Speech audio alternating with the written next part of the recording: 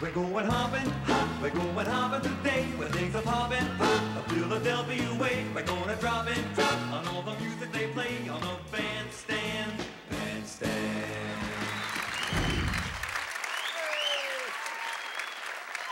Where are you folks from? From Seattle, both of us. Really?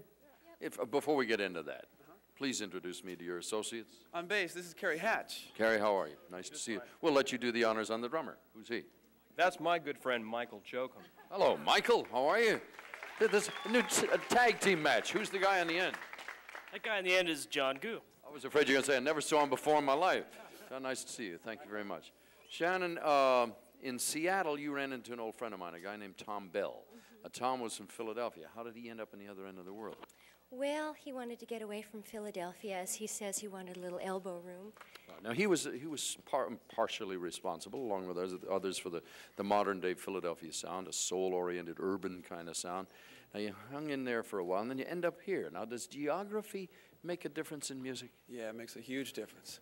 Um, you know, when you're when you're here, it's such a big town, and there's so much energy going on here. This is really, you know, the the main part of the music business goes on here. All right, now, now here's what confuses the daylights out of me. What is the man's name who, who uh, produced this album? Tom Werman. Where have I heard of him before? He's produced Motley Crue and Yeah. Twisted Sister and Ted Nugent. Little quiet chamber music groups, easy on the. I mean, this is very. Uh, you called it rough-edged music. I mean, a lot of people call it heavy metal. I mean, this isn't that scary when you go to a producer like that?